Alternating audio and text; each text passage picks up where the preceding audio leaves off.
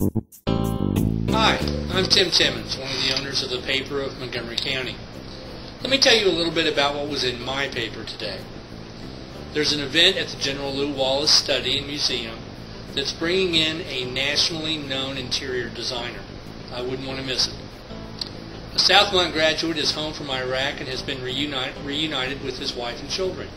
It's a nice story from Rick Holtz, and you'll read about it on today's A1. More people continue to file for office in Montgomery County.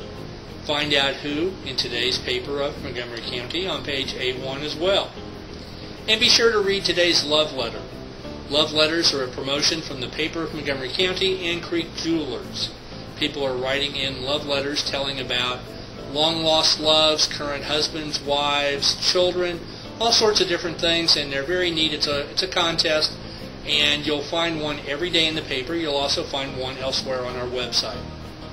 In sports, those Crawfordsville swimmers did it again.